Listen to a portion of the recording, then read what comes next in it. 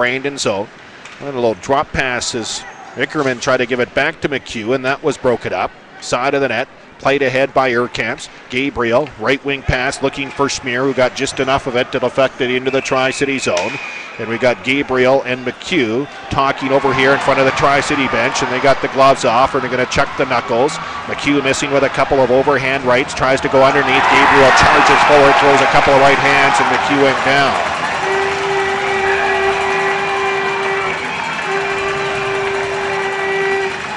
940 Gone in the second period, 2 2 score. You're listening to Heritage Co op Wheat Kings Hockey on 880 CKLQ.